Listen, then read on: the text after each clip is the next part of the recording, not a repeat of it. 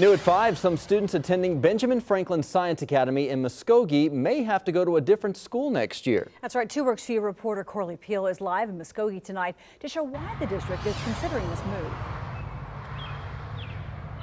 Brian and Karen, school leaders say the district needs to save $1 million.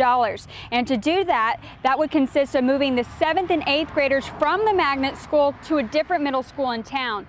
Officials say the proposal would move roughly 90 students from Ben Franklin to Alice Robertson Junior High.